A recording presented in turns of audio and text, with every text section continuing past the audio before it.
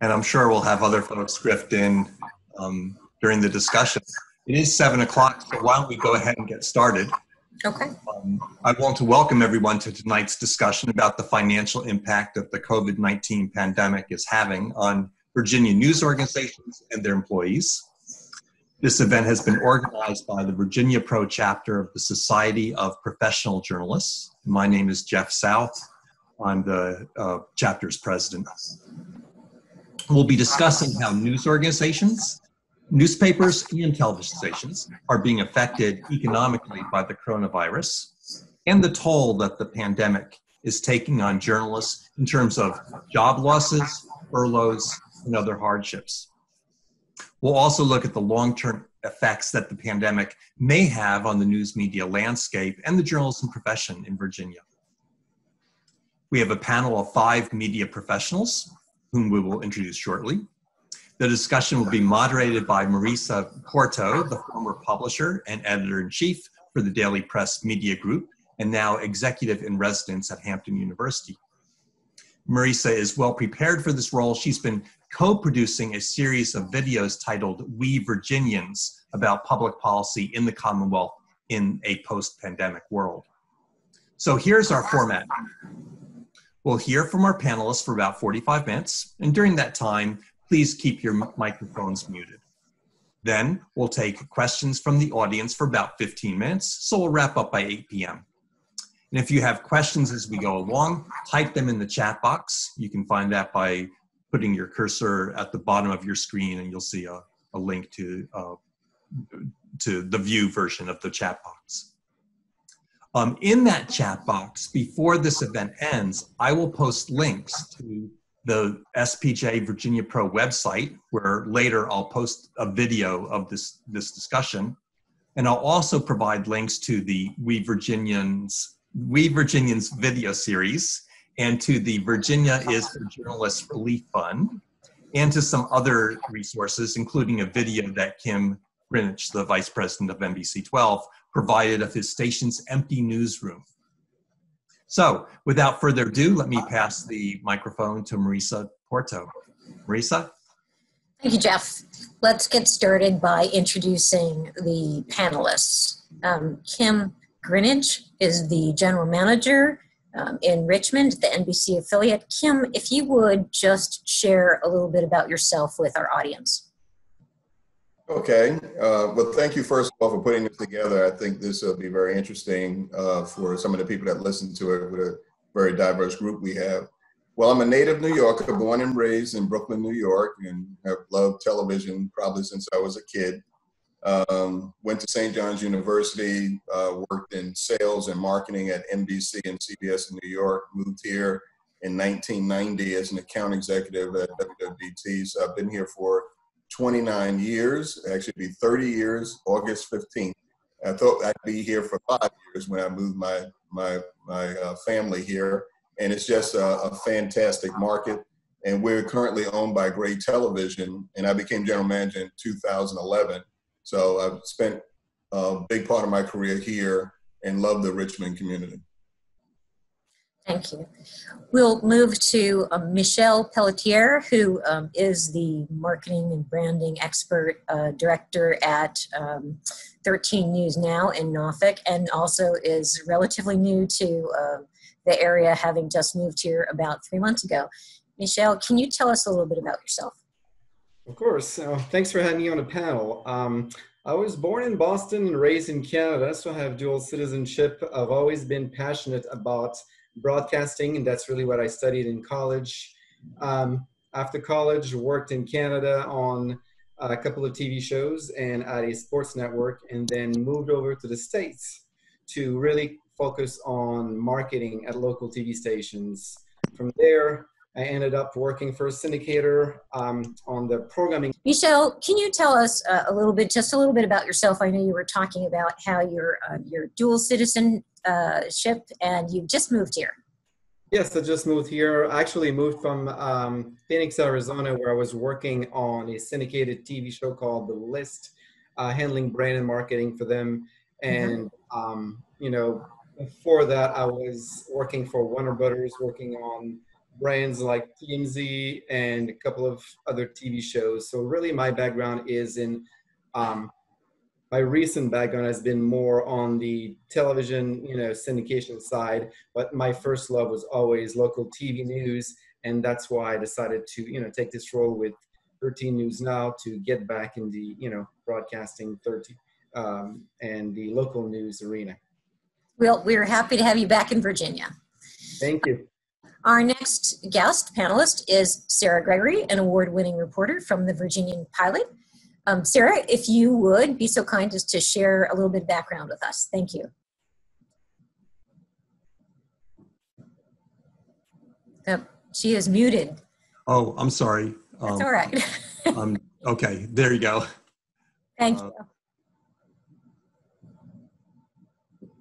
No, there you go. She's Uh, so I'm an education reporter at the Virginian Pilot, and I have been here a little over two years, and I've been in Virginia for about five years, covering K-12 education, and um, I'm also chair of the Tidewater Media Guild, which is the union that represents journalists at the Pilot and the Daily Press, the Virginia Gazette, and the Tidewater Review. And I've uh, worked, uh, I'm part of the group that is working on the uh, relief fund. So that's a little bit of well, welcome. Um, Allison Wrabel, she is a reporter with the Daily Progress. Allison, can you tell us a little bit about yourself? Hi, yes, uh, my name is Allison. I'm a reporter at the Daily Progress. I mostly cover Albemarle County government.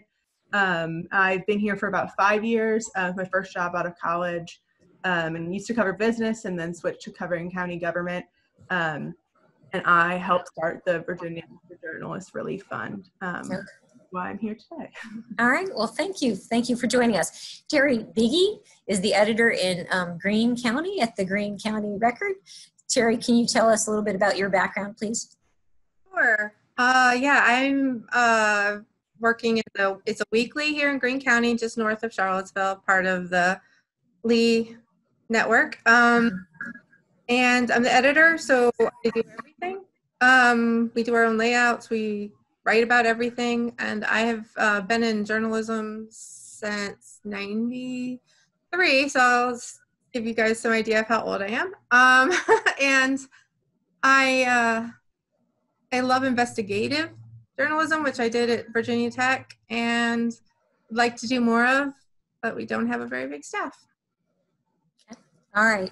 Well, let's get started. And I'm going to start with you, Kym, as the general man- manager of an organization. You've seen the business model change over time, um, audience and advertising going to the digital, uh, migrating to digital platforms, and, and trying to recreate um, or innovate in uh, the traditional business model. So, can you tell us um, all of that as the backdrop to then COVID comes along, and um, and here we are.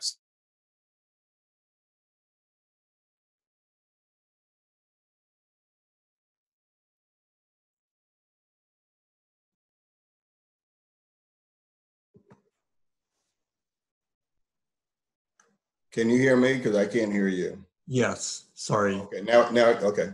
So uh, it's interesting, all of the change, uh, Marisa, that you talked about that television stations have been experiencing over time over the last 10 years has made us have to change our business model and not only get more involved in the web and the internet and everything that's involved with that, but we have all invested over the years in more and more technology when March 13th came, uh, as I said to the group earlier, I remember Friday the 13th when we got the word from corporate that everyone had to go home. We had been talking about what we would do if, in fact, we had to leave the building totally or have people work remotely. And we, at one point, were talking about 100% of people working remotely. And we started talking about how would we do that, just like a lot of other news operations both radio, TV, broadcast, um, and newspaper. Um, and we sat down and we talked about it. We basically had a plan put together, but it wasn't 100%. But in a week's time, uh, out of 110 people that came into the television station, we have a max of 30 people that are ever in the station at any given time. And I was just truly amazed, particularly by the news department, about how they were able to do so much remotely right away. I guess the first innovation was our morning anchor, Andrew Freiden, morning uh, meteorologist. Andrew was secretly building a studio in his garage while this was going on. And in four days' time, uh, the, the news director, Frank Jones, came to me and said, Hey, Andrew wants to talk to you about something he wants to do. And I said, What is that? He said he wants to be able to broadcast remotely. And um, for me, it's like, well, everyone else can run away, but we have to be here doing broadcast television. Well, we found out that we had to be more flexible. And it was because of having the technology, because all of us have to innovate for a living, we were able to, in five days, pretty much clear the building. The newsroom at any given time, you, you might see seven people in there, and that's a crowd. Uh, reporters working remotely, doing their stories, editing them, sending them electronically, coming in the morning and doing, uh, having their morning meetings and doing all that remotely. I sat in on a lot of those calls, and I was just amazed at not only that it got done, but it was done very efficiently and there was no one that was really complaining about what they were doing. And that really set the tone for the rest of the building for those people who had to work remotely. So everything that we had to do to innovate and keep up with times over the last 10 years had most television stations, certainly our station, ready for prime time for this moment. And uh, even though it's certainly a new normal that I don't like, but it is one that I believe that we'll have to be in for several months.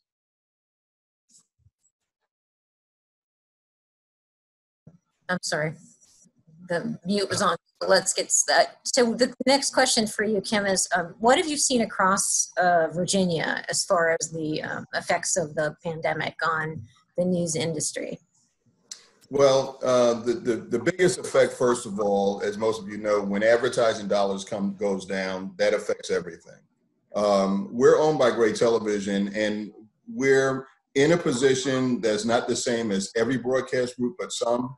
But our CEO uh, basically did a video after two weeks when we were into this, and he talked about how we had survived uh, the downturn in 2008 and 9, how we survived uh, 9 11 and during all those times, they said that Gray Television never did furlough, never laid anyone off, and never cut salaries. He said, so you guys uh, need to just do your jobs, do them well, and don't worry about losing income. Now, that was true for everyone except for the sales staff.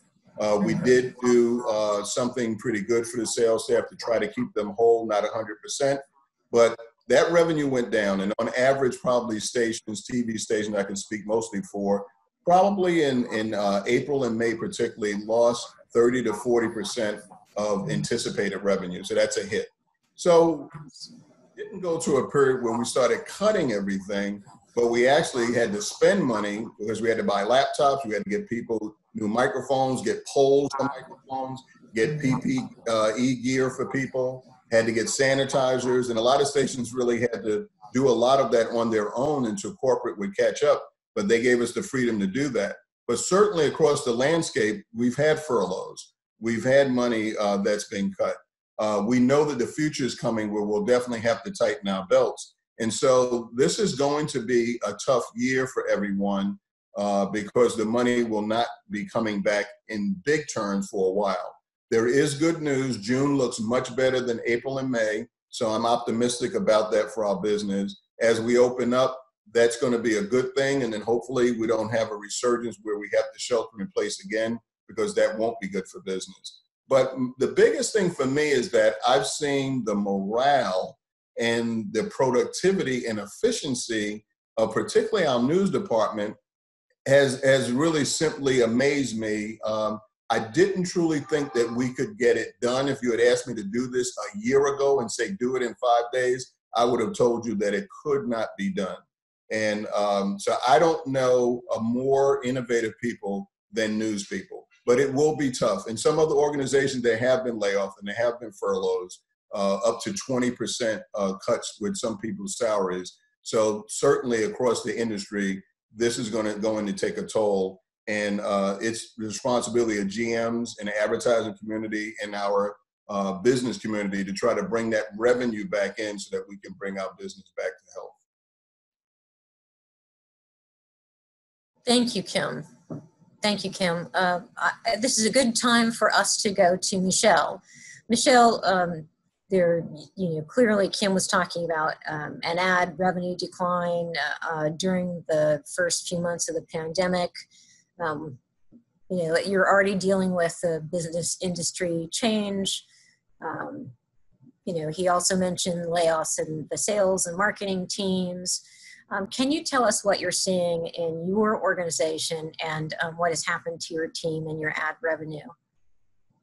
Well, from a, you know from a revenues perspective, obviously there's been there's been some loss, but I think there's you know mostly, and I'm trying to be you know kind of a positive positive on it here. You know, I think you know the biggest thing is from a marketing standpoint and from a news coverage standpoint, we've seen huge amounts of viewership increase in you know most of our newscasts we have a, a new audience that's coming to local news due to the fact that they're actually trusting local news you know and for example our our demos for millennials and you know people of the younger younger viewers have gone up tremendously not just for our station but also for our station group Tegna. So we've seen a huge opportunity there, not only with you know linear, but also with digital. I think a lot of people are being, you know, are sampling local news right now, and it's a good thing for us.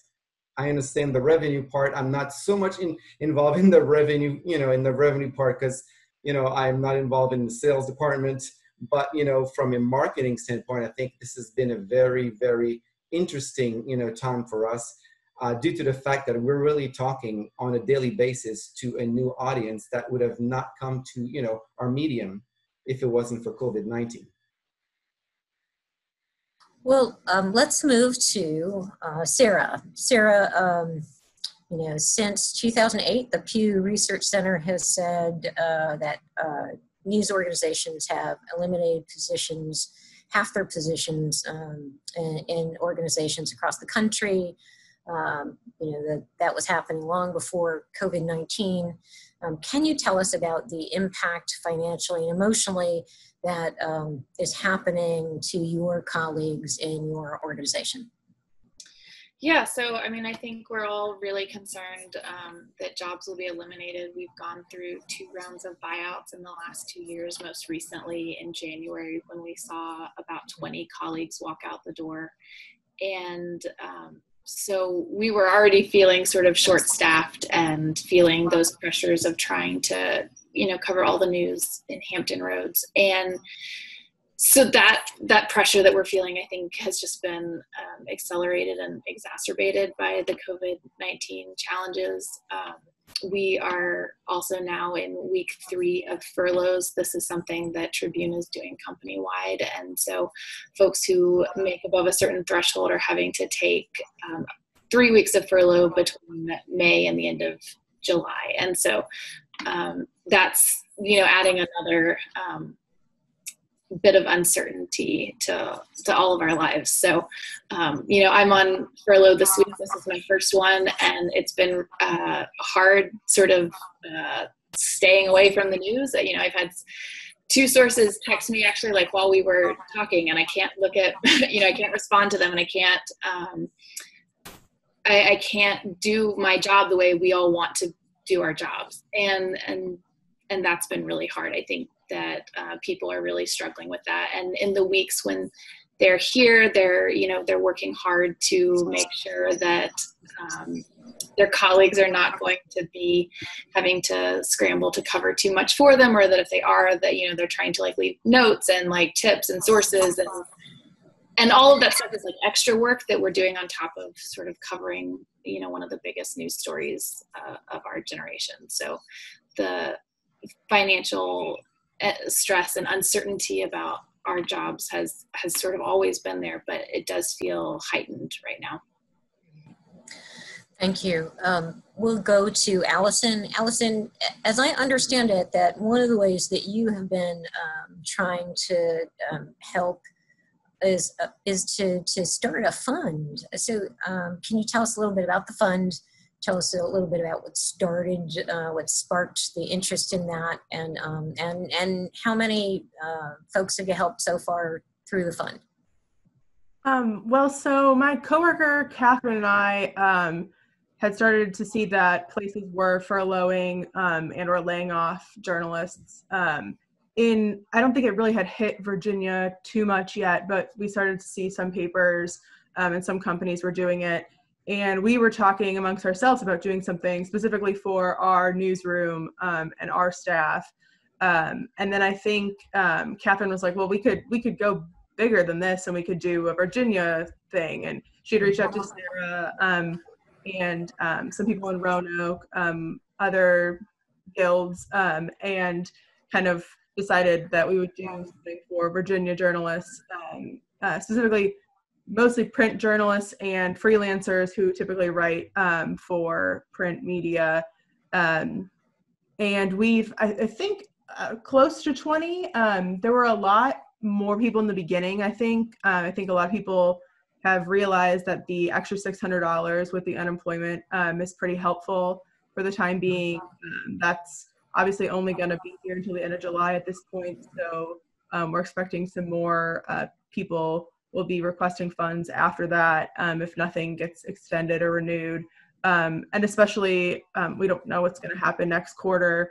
and layoffs could be on the table at some places. Um, so uh, we're, we're definitely glad we still have um, quite a bit of funds uh, left to distribute.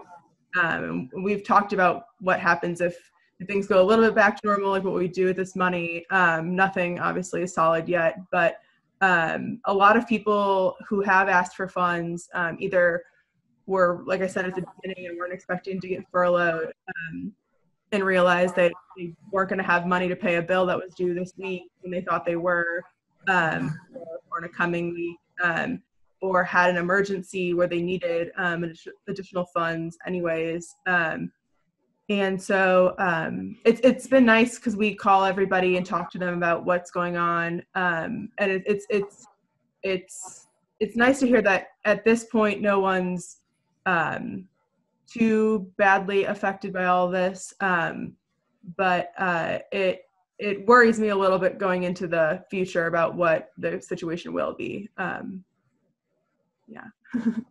All right. Thank you, Allison. We appreciate that. Um, Terry, let's get to you. You have a different, a uh, little bit of a different uh, market. You're a weekly. Uh, yes. So um, it's much, it's much smaller than uh, most everyone here on this call. Um, can you tell us um, what the long-term impact has been, or, or, what the what the impact has been on your organization, and then maybe tell us a little bit about what you think the impact might be on the citizens of Virginia um, because of what's happening in the news industry around the around the Commonwealth. Sure. So um, we're outside of Charlottesville, and the Daily Progress is our daily paper, but short staff there means they don't get to cover the extended counties much. So the weeklies that are out here are the most local news that these people get. Um, we're at all the local meetings, we're at, you know, the kids' soccer games and all kinds of stuff like that. And um, people really love that. I'm in a place where I don't think this will exist past June 30th. The new uh, fiscal year is July 1 for Lee Enterprises, and I'd be really surprised if the weeklies make it past there. And that's a big problem for um, local communities because the we've been here since 1903, and it's the only paper that's ever been dedicated directly to Greene County. It's a small county, uh, 20,000 people, but it does keep keep everybody together you know we've got church listings and and all the things that people really care about and it's not just going to be here it's everywhere that doesn't have a local newspaper anymore. They might i feel like they'll lose a lot of their identity. We do have media um, you know television in charlottesville. They're only up here when it hits the fan which honestly in Greene it hits the fan a lot more than you would expect. Um, but we don't get the coverage the way the Charlottesville does. And for people of Greene they they'll miss they'll miss having the Greene County news. So is your expectation that in a few months you you may well not have a newspaper and you may not have a job? Yes, I am preparing myself for that expectation 100%. And what does that mean when you say you're preparing yourself for that in the middle of a pandemic? um, am trying to think outside the box of what I can do if that happens for the people of Greene. Um, are there ways to create my own paper? Is there a way to let me buy that paper or at least the name? They don't own the building, so the only thing they own would be the name. Um, and people of Greene have been worried and asked if they could start donating to us, um, which right now we've said no. Uh, so I think people would rally, Mhm. but I think it would be different. I wouldn't have benefits. I wouldn't have 401k. There's a lot to lose at that. Um, I'm luckier than than a lot because I'm married, but I worry that they'll lose a lot of information. Okay. So, what would you tell uh, the public or legislators uh, about the situation that the news industry finds itself in today? And um, is there any way that uh, that they can help in in in in this in this time of need? Yeah i'm not against newspapers you know getting grants from from the federal government or you know stimulus packages i worry a little about the i don't know what the word is but uh, the the appearance of of an influence by a political party or political system. But at the same time i think we're going to have to find a way to raise money other than our typical models. And going the nonprofit route or somehow combining with a nonprofit i think that would be a good start for local papers Okay. for local papers All right. Thank you, Terry. Thank you. Um, Michel, so the um, it's pretty clear that the pandemic has had a negative effect on the news industry across uh, the Commonwealth. Uh, but you're in the marketing and branding part of uh, a news organization. Has there been any positive um, outcome uh, from the, the, the news industries, um, you know, the news industry's consolidation and the issues that it's facing in the in this in this time of COVID? Um, from a marketing standpoint, I, I really haven't, you know, seen anything. You know, I've seen a lot of uh, a lot of pivoting from our advertisers. Uh, that's obviously, you know, something that I'm working with um, as a director of marketing. I'm responsible for the relationship with advertisers. Um, you know, we've seen a lot of our advertisers change, you know, and cancel their buys and then change the way they're operating. I think the messaging has changed tremendously. We've gone from a you know, message of hard sell to really a I call it brand activism, where every every advertiser has had to reach out to the community and reach out to their customers in a totally different different way. Um, you know, we have helped our advertisers um, reach out to the community and you know really actually send messages that have been very positive overall for the community through you know their advertising so that's something that we've seen that's been very positive besides the ratings obviously and the you know the, the new audience that we've seen uh, also you know for our news product i think you know the advertising the advertising community has had to really pivot the way they're doing business and that's pretty much the biggest change from, from my perspective Okay. Um, Sara and Allison, uh, perhaps you could answer for uh, us. Um, do you think the pandemic um, and the financial issues caused by it will have long-term effects on your yourself or your colleagues um, as far as you know, sort of emotional and financial um, uh, effects? Yeah, no, I, I, think that it will. I think that a lot of people are.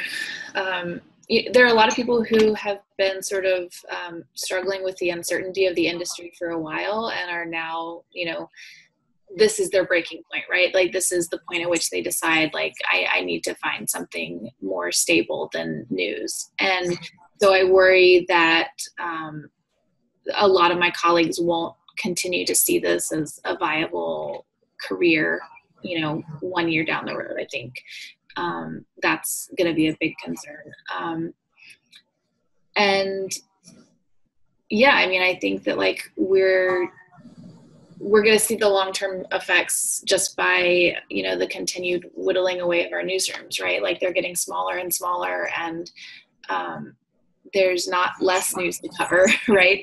Um, so we're not um, we're not able to go into things as in depth as we might want to all the time and we're having to make tough choices about what we cover and what we don't cover. And down the road i think that that will i think readers will see that um, i think um, you know I, I think my colleagues see that and i think we i i say a lot like i wish readers could see how hard we all work behind the scenes to make uh, to make it so that readers don't see what um, we're having to sort of scramble to to cover and fill in the gaps for you know one person doing a job that was done by three people a couple years ago. But um, i think there's going to be a point at which you know we can't cover that up right? I think um, and, and, i think that our communities will start to sort of feel the consequences of not having a, a strong watchdog looking at them Mm-hmm. Allison, do you have any um, concerns in particular about your organization and what you're seeing across the state? Um, we already uh, had empty positions before this that we don't know why they weren't filling. Um, most recently, we were told it was because of the pandemic. Um, the positions are still budgeted, but they're not actively trying to fill them right now. One being uh, the University of Virginia slash the hospital system uh, or, or, health reporter, um, which obviously is probably the most important position uh, to have filled right now. And uh, that has been open since October.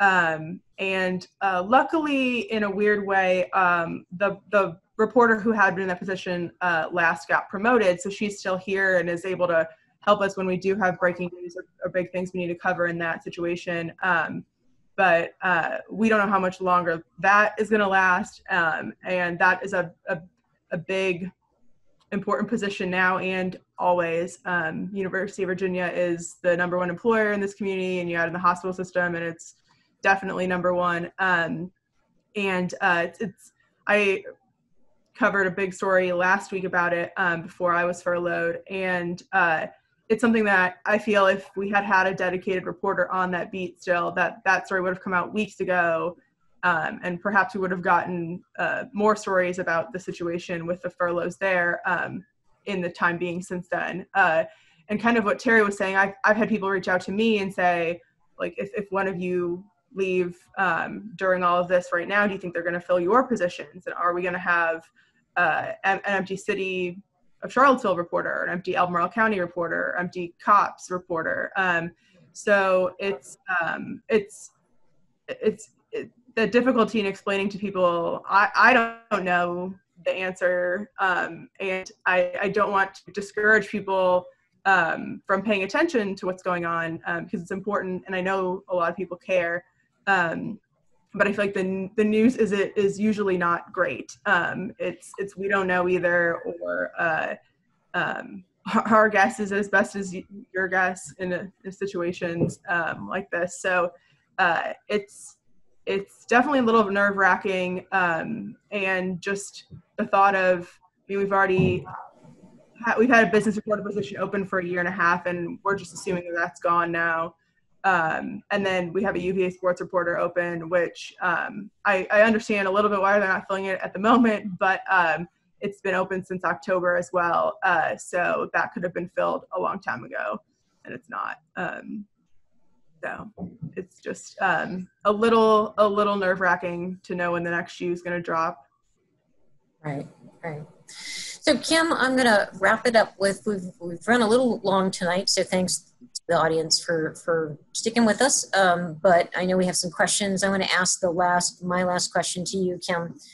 Um, you know, before COVID, you could see some news organizations um, clo- shutting down, closing, right?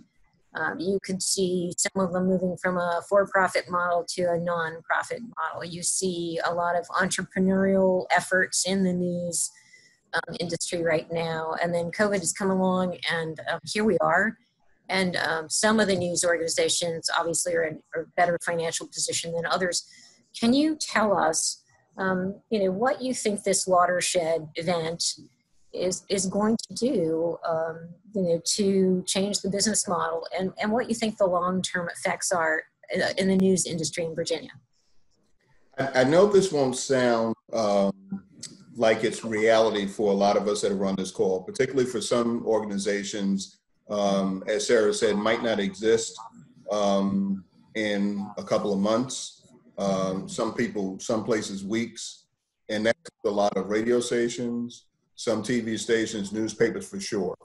But I do feel that when this is all over, that we will be a stronger industry than we've ever been before. And here are the reasons why. We've had to innovate more than ever before. And the most important thing that any audience knows is that the most important news that they receive is local news, is local news that is going on in your community. One of the first things that we talked about was not just what we could do for our staff, but what would we do as a station to make sure that we stood up for the community, not only bringing them news that they needed to hear, but what about all those nonprofit organizations that would not make it? So we partnered with the Community Foundation and also with the United Way. And we wanted to know we know that there's a relief fund. Where is the money going? We wanted to know that that money was going directly to organizations that need to be stood up, not just right now, but for the next two years. This is when leadership from all of us matters so much and this is also the time that we have to, because we're being forced to reinvent ourselves. I believe that when we come out of this, there'll be more partnerships. There'll probably have to be more partnerships between newspapers and broadcast stations and radio stations. The National Association of Broadcasters, we're already talking about what can we do more and not less. Because the one thing I do believe is that we have to walk, run, stand on our heads, dance, and chew gum at the same time. And I believe that we absolutely can do it. And it's forums like this where we'll have to share ideas. When we know that someone is in trouble, I believe that government funds that the NAB and the VAB is fighting hard to get, I believe they should go to local organizations like yours because your weekly, my uh, TV station, a radio station, newspaper is no different than any other essential organization. We are the first responders and first informers. And we all take that very seriously. I think that this industry is going to change. Sometimes change comes because you're forced to change, and sometimes change comes because you're being very innovative. This is one of those times when we're being forced to change, and I believe we'll come out good on the other side. Now, if there isn't, so what do you do? So Sara talked about what's the next thing. Terry talked about what's the next thing. Um, want to consume that media online we've seen that there is a millennial audience. I'm sorry, it'll be a long time before they get up and watch us every single day, even though they're doing it now and there's testing. But we are trying to make sure we reach them online. We are trying to do an OTT channel and make sure that we do something different than we've done before. All of this has forced us to actually be more innovative and more productive, and also to listen to more voices than just the news director, the general manager, and the marketing director. Because people will tell you what it is they like and what they don't, especially when they're sitting at home 24 7. Uh, just go on social media. And I tell people any email that comes into the station, whoever it comes from, whether they hate what you're saying, whether they think you're biased, whether they think you're just a fake news media, answer every single email with the facts. It is amazing that when you take the time to be courteous, you respond to them directly. I have never had someone come back and ever fight again against the facts because they know what the truth is. They're just angry. Uh, and we're in an angry society right now. So I believe that what we do matters more than it ever has before in the history of our industry. And I seriously mean that. We're going to be the ones bring the public through this pandemic. We're the ones who are going to tell them, yes, this is what you should do when you're outside. Ignore people who don't believe in listening to the rules that we need to follow. Just continue to give the facts that at the end of the day, our business is not to be led by the public. We need to listen to them, but we need to continue to give them information that they need. And as Michel said, and this is a lot with broadcast, but it is also online. I think of print as whether I read it with a newspaper or whether I read it on this screen. Both have value, and we have to evolve. And I think that um, partnerships and innovation is going to be the thing that brings us through. And there is an audience, an advertising audience that is willing to pay for that value. I have more subscriptions to things that I don't even know how I got that subscription, but I pay five dollars uh, a month so I can get that New York Times or that weekly. You go and you say to that weekly, people say they want to donate money. Say what I'd rather you do is subscribe to my online service. Mm-hmm. That people are willing to do that because you're the only ones who are going to be in your community giving them that local news that they need. We need weeklies. We need newspapers and broadcasting we need the newspapers to stand up. We need them to be online because, as you know, the way we run, we can't cover all those stories. But we love it when we say, "Can you also stream this from my community?" Oh, yes, I can do that because I don't have to leave the building to. So I could go on forever, but I am a, an optimist, and I truly feel that we're going to come out on the other side better. And what we have to do is call each other and say, "Hey, Kym. Hey, Marisa. Like what you said the other night keep me in mind. This is my resume. This is what I offer in terms of value. And we have to help each other achieve more excellence. And I believe that we can continue to do that. That seems like a nice place to stop and um, turn it over to Jeff and say, Jeff, um, do we have any questions from the audience? Okay, so um, the the Zoom bombers, who I've mm. tried to block every single one and kick them out, they pretty much um, vandalized our chat box. So we're not mm. going to use the chat box. Don't even look wow. in the chat box. It's not okay. worth it. Um, but um, we can, uh, I can unmute people, or if you want to raise your hand if you've got a question. Um, in fact, let me let me just put Greg Gilligan on the spot because he because you're such a good interviewer. Greg, let me. So I've um, invited you to unmute. And what, what questions, what question might come to your mind after listening to this discussion? Well, I think, you know, the, I'm not sure it's a question, but in terms of the discussion, you know, I fear that, you know, for Lee Enterprises, which there are three newspapers here with Lee Enterprises, including myself, um, we had to take uh, two weeks of furlough, either in April, May, or June. I'm taking my week this week as well. Um, and we have to do it by the end of June. My fear is what's going to happen after June, after you know when July 1st rolls around, and um, whoever said that they thought our fiscal year ended June 30th, it does not. It the the the uh, fiscal year doesn't end until September. So they changed it somehow. I'm not sure when they changed it, but they changed it. Um, I can't. I was trying to, find that information. And and Lee also. I mean, while they have the cash on hand, um, Lee's uh, stock price has fallen below uh, the necessary requirements of the New York Stock Exchange, so they're also in trouble there too. Mm. So, so the real question now, now becomes: Okay, so let's say we have to take more furlough the second half of the year. Well, what happens to all of our vacation time? So now you're going to have people on, you know, because most people have taken the furlough, haven't taken any vacation. This is the first time I've had off since the beginning of the year, um, and this is a furlough week versus a vacation week. And normally I would have had two or three weeks of, of uh, vacation by now.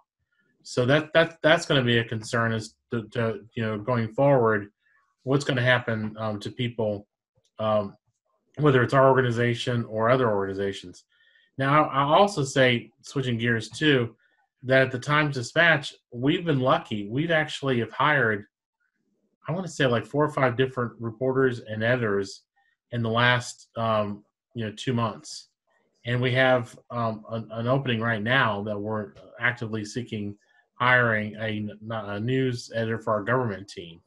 Um, so our healthcare reporter left at the beginning of um, May, and and so one of our, our government team uh, editors, she decided she wanted to go back to reporting, so she's doing that. But we've we've hired um, you know two uh, government reporters, local government reporters. So I guess we're we're the flip of of, of what others and uh, how why are we able to do it and the others aren't? I'm not really sure.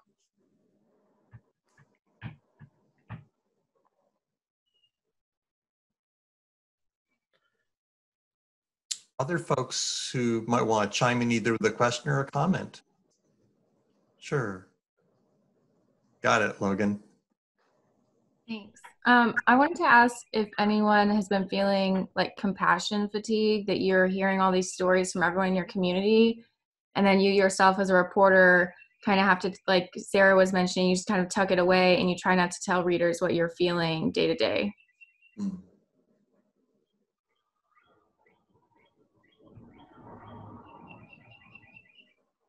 I'll, I'll take this. I mean, I think definitely um, that's been um, I mean, that's sort of part of our jobs normally, but we have been hearing from a lot. A lot more people are struggling now, and so we're hearing from a lot more people.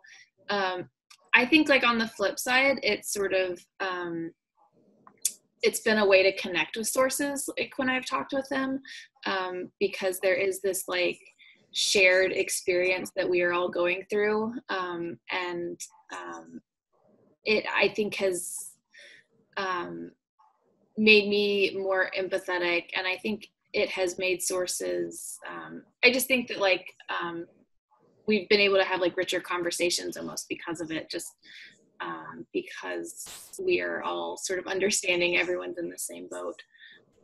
But yeah i mean it does it does wear on you. And i think someone said earlier like your your home is your work and your work is your home. And there's very little like separation between the two. So and um, journalists aren't really known for being able to separate those two to begin with so um, yeah that's definitely obviously gotten harder right now i've been having um, not so much compassion fatigue but um, creative fatigue and be able to come up with the story ideas. We I have a feature publication that I just started. Um, everything was humming along, um, and we had advertisers coming on board, and it's a features publication.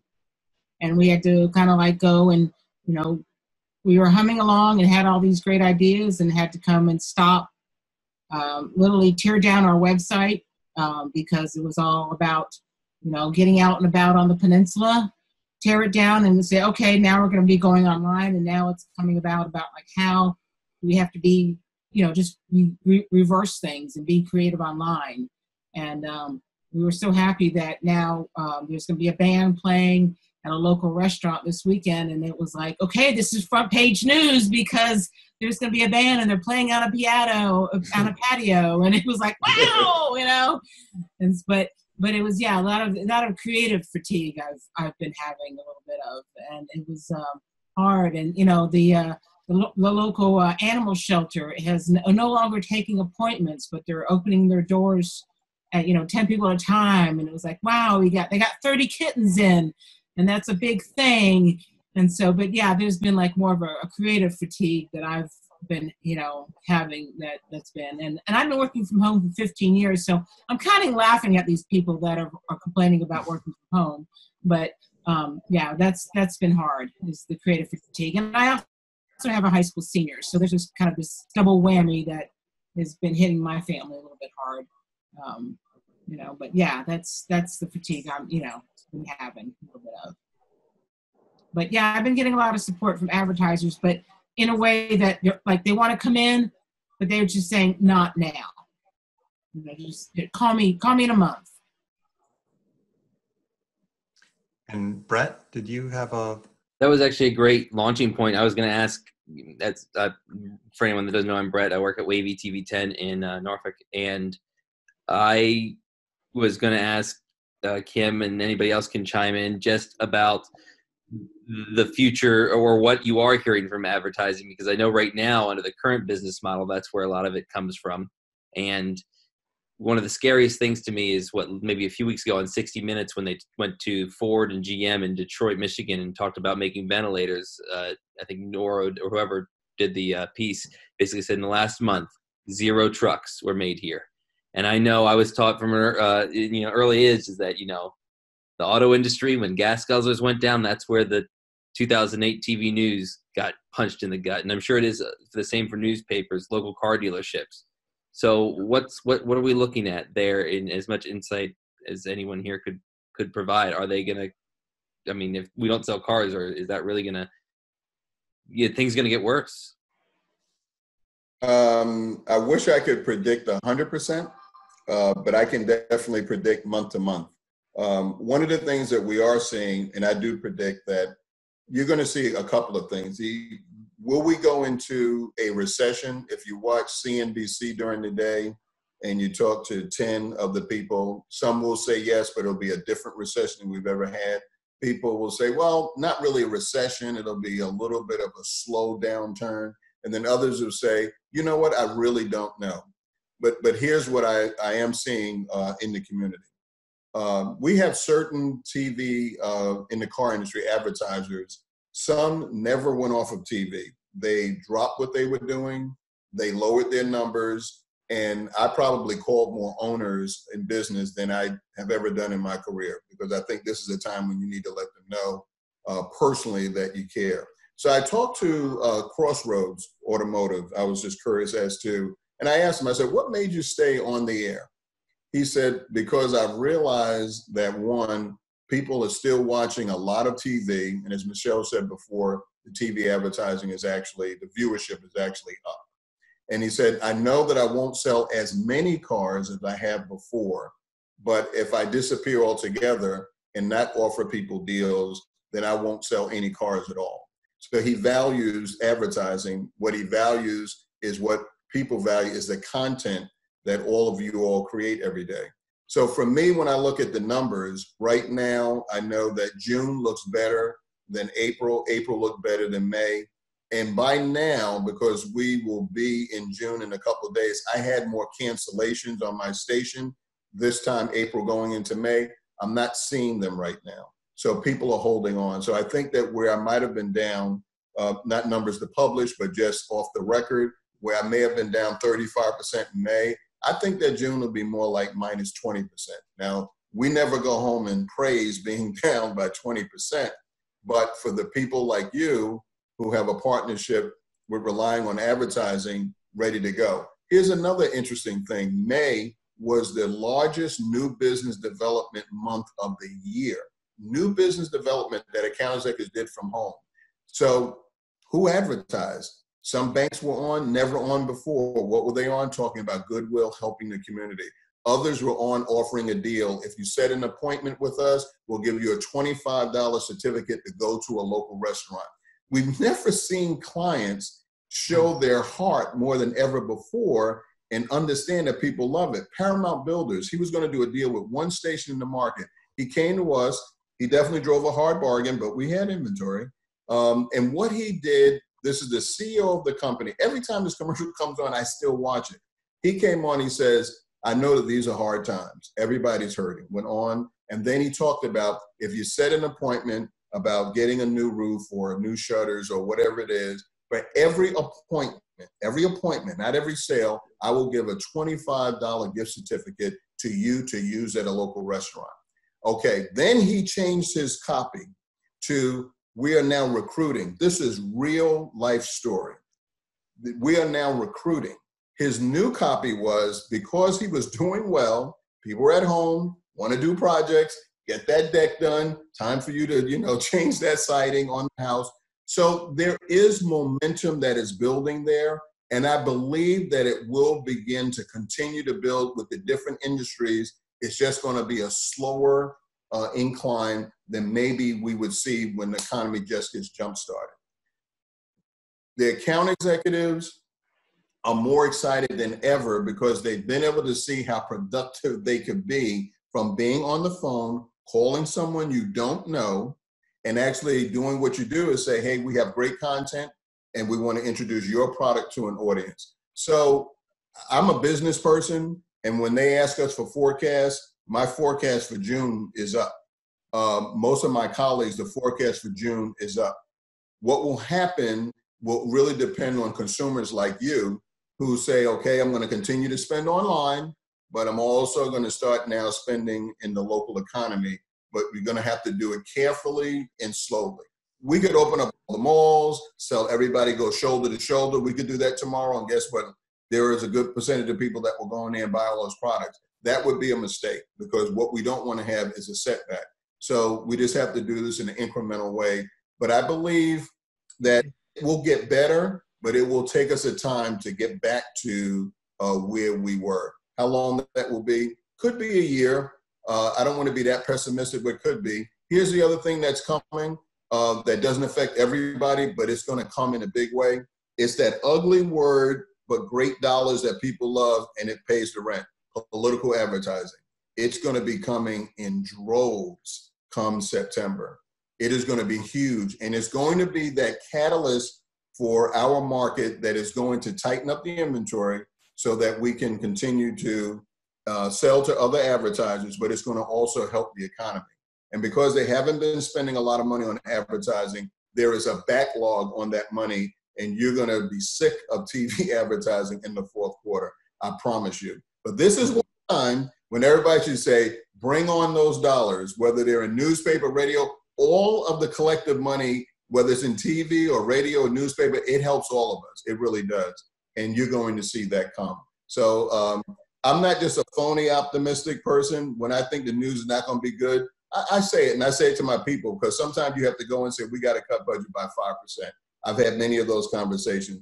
But I'm telling people now, you do your work. And this is when leadership really matters a lot. Staying in touch with your people, letting them know that you care about them, but more importantly, letting all the segments in your individual communities going out there and let them know by your content that you cover that you care about all communities. Equity now, inclusion, and all of those things are more important than ever before. People are watching us closer than ever before, and when you ignore their story, that's when they will leave you and not come back. So, Brent, I think what you all are doing is going to continue to be well. It's just going to be different. Hmm. And Michel, since you've got your ear to, of course, the advertising world, how does that resonate with you? Do you do you also see a comeback in advertising once this thing is over?